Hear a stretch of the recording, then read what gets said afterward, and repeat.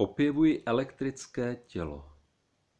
Armády těch, jež miluji, mě objímají a já je objímám. Nechtějí mě pustit. Mám s nimi jít a odpovídat jim. Zbavit je falše a plně obtížit břemenem duše. Pochyboval někdo, že ti, kdo zbídačují své tělo, sebe zatajují?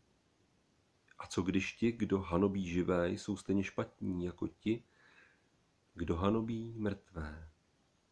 A co když tělo není stejně tolik jako duše? A co když tělo není duší? Co je potom duše?